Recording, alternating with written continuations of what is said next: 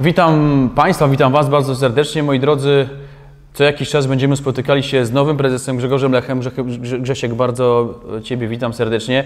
E, Na podsumowanie, no, podsumowanie tego, co wydarzyło się w, w kolejnych dniach e, urzędowania nowego prezesa. Grzesiek, dwa tygodnie Twoich rządów, wiele się działo w klubie. Słuchamy.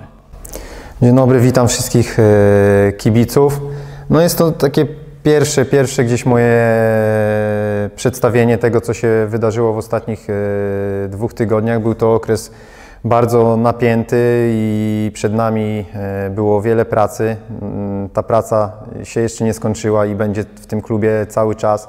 E, Na początku gdzieś na spotkaniu z pracownikami przedstawiłem swój pomysł na funkcjonowanie i organizację struktur wewnątrzklubowych. Przedstawiłem pomysł e, czy wizję swoją, że najważniejsze jest zaangażowanie dla dobra klubu, wiara w to, co będziemy robili i zaufanie wobec siebie, żeby te wszystkie, wszystkie punkty e, spójnie dały nam jakość, która poprowadzi ten klub e, w górę, jeśli chodzi o struktury e, organizacyjne. Podzieliliśmy, podzieliliśmy wewnątrz, wewnątrz klubu te struktury na piony, które mają swoich liderów, za które ci liderzy biorą odpowiedzialność i będziemy chcieli w tym kierunku iść, żeby w klubie było kilka osób, które e, sw- swoimi decyzjami, swoimi decyzjami, swoją osobą e, podnosiły poziom i jakość funkcjonowania klubu, jeżeli chodzi tutaj o te sprawy wewnątrzklubowe. Czyli nie władza autorytarna, a zaufanie, drużyna, ludzie to jest najważniejsze. Tak, uważam, że klub to jest ogólnie drużyna i tutaj wszystkie aspekty, czyli kibice, sponsorzy, e, sztab szkoleniowy, zawodnicy, pracownicy, to jest jedna drużyna i uważam, że dobrze funkcjonujący organizm jest wtedy osiągnąć wspólnie wiele i w tym kierunku będziemy chcieli funkcjonować, być e, transparentni, być, e, być klubem, który jednoczy wokół siebie wszystkich i wspólnie razem tworzy, tworzy, mam nadzieję, rodzinę, w której czasami też są zgrzyty, ale tylko po to, żeby wspólnie opracować plan, który pomoże nam się rozwijać. W tych pierwszych dniach e, nie powiem, że gasiłeś pożary, ale bardzo skoncentrowałeś się na aspekcie sportowym, na aspekcie wzmocnienia drużyny.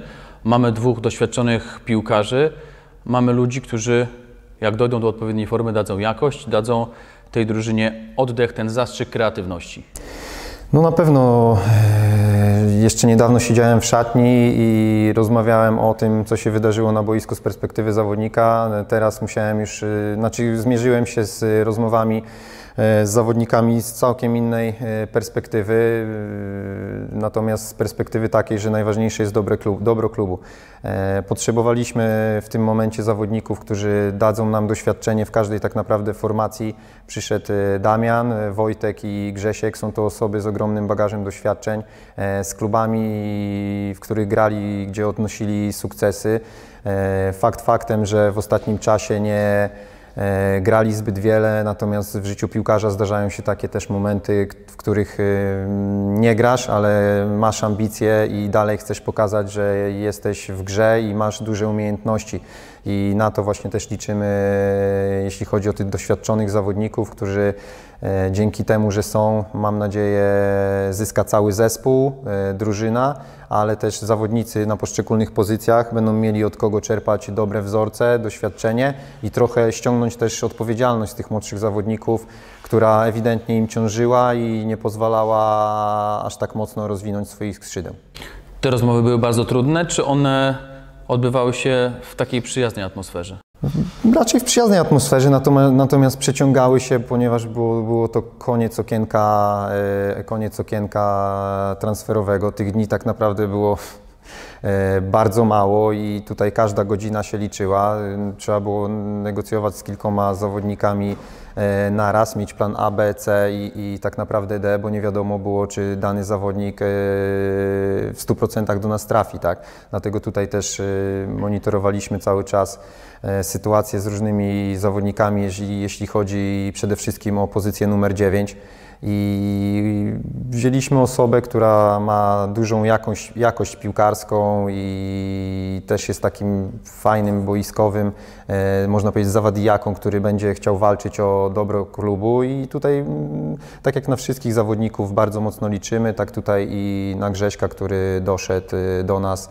E, liczymy na to, że szybko wkomponuje się zespół i po troszkę takim lekkim przygotowaniu motorycznym, które niewątpliwie musi jeszcze przejść, w 100% będzie w stanie pomóc drużynie. Wiem, że monitorujesz wielu piłkarzy, masz ogromne rozeznanie, jeżeli chodzi o zawodników pierwszej, drugiej, trzeciej ligi w województwie i w całej Polsce.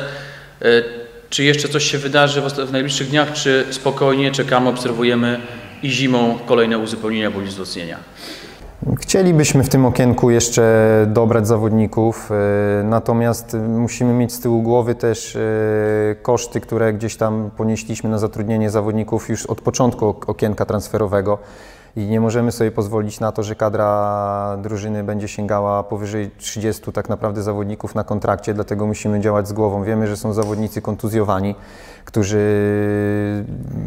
z biegiem czasu będą wracali do, do naszej dyspozycji i bardzo na nich liczymy. Wspieramy ich w tym, żeby e, jak najlepiej ta rehabilitacja czy i powrót do, po kontuzji mm, wpłynął na, na ich formę i dobro drużyny. Także tutaj raczej to okienko już y, zamykamy, bo tak jak mówię, no, nie możemy sobie pozwolić na to, że będziemy mieli w kadrze mm, dużą ilość y, zawodników. Niestety jest też tak, że na niektórych pozycjach po prostu grają zawodnicy z przymusu, tak, ale to jest kwestia po prostu czasu, aż zawodnicy wrócą e, po kontuzjach i będą do, naszej, do dyspozycji trenera i będą dawali jakość, jakość tej drużynie. Dwóch zawodników zostało przesuniętych do drugiej drużyny.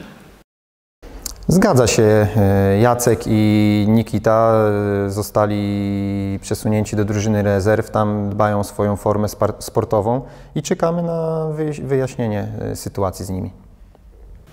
Praca klubu to nie tylko pierwsza drużyna. Sam zobaczyłeś, jak to wygląda od środka. Jednak biuro też ma bardzo dużo obowiązków, bardzo dużo pracy i często, często wychodzimy stąd późnym wieczorem i to chyba z tej perspektywy trochę inaczej to wygląda niż z zewnątrz. Znaczy, będąc też zawodnikiem, bardzo doceniałem pracę, pracę tutaj osób yy, dbających o to, co się dzieje wewnątrz klubu. Natomiast faktycznie jest to praca nienormowana czasowo. Często yy, wszyscy pracownicy funkcjonują tak naprawdę od rana do wieczora, są pod telefonami do dyspozycji, do zdawania komunikacji między, między, między sobą wspólnie. Także tutaj naprawdę od początku, od pierwszego dnia e, zobaczyłem wielką chęć e, pracy i zaangażowanie, to co powiedziałem na samym początku, że od tego się zaczyna tak samo na boisku e, praca i tak samo tutaj widać duże bardzo zaangażowanie w to, co, w to, co robimy. Natomiast teraz to się musi przenieść jeszcze cały czas na jakość. Będziemy od siebie bardzo dużo wymagali, żeby ten klub się rozwijał, musimy od siebie wymagać i każdy sobie zdaje z tego sprawę, że w swoim pionie dba o to, żeby ten klub szedł do, do, do przodu. E, wydaje mi się, że każdy dobrze to rozumie i, i teraz tylko czas e, realizacji działań i czekanie później na wyniki tej pracy, bo to też jest proces. Również nie zapominamy o tym, że ten rok jest rokiem 75-lecia Stomilu i na tyle, na ile pozwala nam sytuacja pandemiczna, staramy się i będziemy się starali ten rok jakoś tak e, podnieść rangę tego, tego roku i te 75 lat no, uwiecznić jakimś sympatycznym akcentem.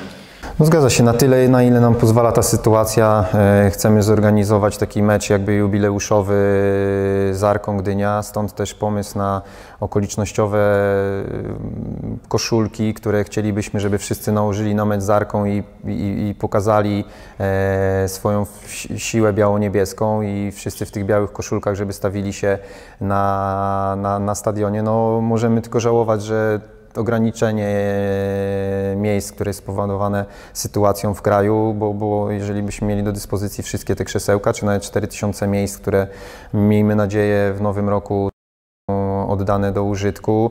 Mm, Mielibyśmy naprawdę bardzo fajny widok e, wspólnie, wspólnie świętujących e, 75-lecie kibiców. I stąd też ten trójpak. Teraz wprowadzimy również od tego tygodnia e, dwupak, który zaprasza, e, który obliguje kibiców do wejścia na mecz e, z mm, Resowią i Arką Gdynia. No i teraz musimy wyjaśnić pewną kwestię, kwestię cen biletów na mecz z Arką Gdynia.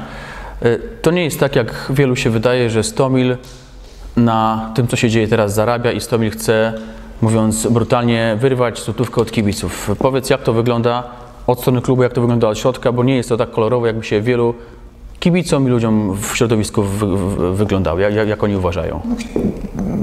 Chcielibyśmy, żeby te, te, te bilety były jak najtańsze, natomiast y, funkcjonujemy na obiekcie, który wymaga, wymaga gdzieś e, restrykcji. Funkcjonujemy e, podczas, e, w dobie pandemii, gdzie stadion jest, frekwencja na stadionie może być jedynie 50%.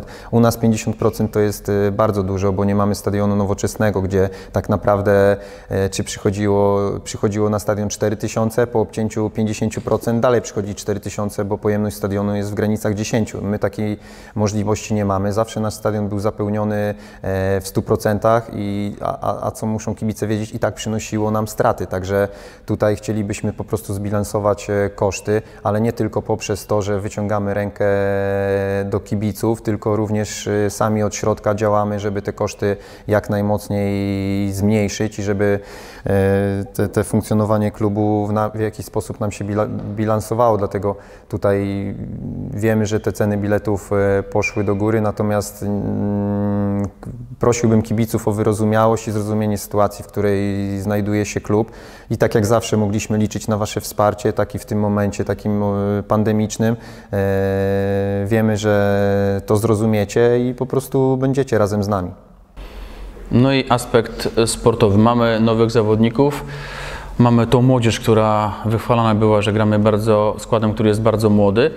Potrzeba chyba czasu teraz, czasu, cierpliwości i te wyniki, jakość gry i wyniki powinny się poprawić, chociaż wyniki są już niezłe. Jesteś e, dwa tygodnie prezesem, a, a można powiedzieć, że zdobyłeś 7 punktów. Oczywiście wszyscy zdobyliśmy, drużyna zdobyła, ale, ale 7 punktów. Na pewno budowanie drużyny to jest e, proces. Tak naprawdę z takiego składu wcześniejszego został tylko tak Wiktor Biedrzycki, którego kibice wszyscy znają i szanują. Ogólnie drużyna przeszła e, bardzo duże przeobrażenie. E, Przyszli zawodnicy na różnych etapach e, przygotowań. To wymaga też czasu, jeśli chodzi o przygotowanie motoryczne, bo jeżeli gdzieś tam osoby nie funkcjonowały przez pół roku w piłce, to niestety te wahania formy będą. Mamy też dodatkowo młodą drużynę, ale też bardzo wierzę w to, że mm, z meczu na mecz ci zawodnicy będą funkcjonowali coraz lepiej i zgrywali się ze sobą, a ta młodość po prostu w połączeniu z doświadczeniem, które doszło, da nam bardzo dobrą mieszankę, mieszankę agresji, mieszankę e, pozytywnej energii, która będzie przynosiła nam e, radość. Panie prezesie, moi drodzy, obiecujemy, panie prezesie, że- za kilka tygodni będziemy się komunikowali, będziemy, nie powiem, że zdawali raport, ale będziemy mówili, co zostało w klubie zrobione, jak te prace nasze postępują, działamy, pracujemy po to, żebyśmy wszyscy byli zadowoleni.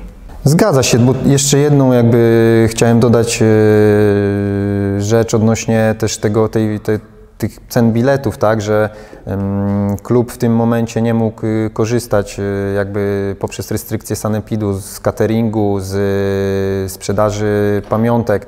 E, Jesteśmy po wstępnych rozmowach, znaczy wstępnych, po rozmowach z Sanepidem, po rozmowach z firmami, które e, mogłyby taki catering e, przygotować zgodnie z restrykcjami Sanepidu.